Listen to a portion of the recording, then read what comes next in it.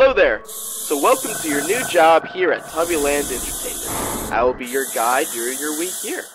Let me briefly mention that the original Tubby bots have been remodeled with the exception of the complete replacement of the original Po animatronic. That being said, I have some advice for what you will have to do.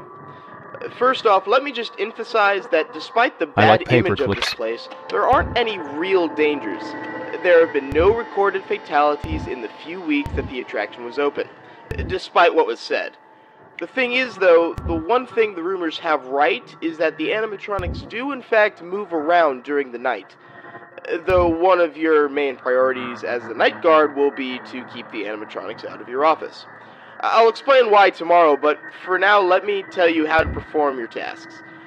First off, there is a button on the left wall of your office which activates a smoke machine.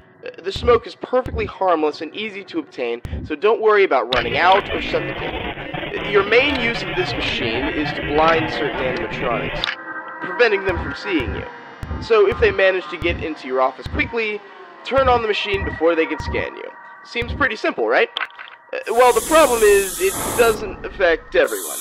You see, the characters Tinky Winky, uh, the purple one, uh, as well as Noo Noo the vacuum cleaner, have advanced navigation for if the events of a fire, they would be able to escort customers out. Though this is rather unfortunate for it being your main line of defense. So, if you're going to keep the purple one away, just look at him on your security tablet from time to time.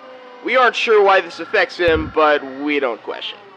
As for Noo Noo, he only really moves at random when he decides he should do some cleaning. You can tell when this happens when you hear his joyful music box. In the room Noo Noo is contained, you can emit a radio transmission that will attempt to cancel his actions if done quick enough. Well, that's about it. Oh, oh, wait, I almost forgot. Uh, there is the original Po model in the spare room. Uh, due to her being blind, uh, the smoke obviously wouldn't affect her, so if she appears, then don't do anything. You, you don't want her to hear you. Okay, well, that's officially all for tonight. Good luck.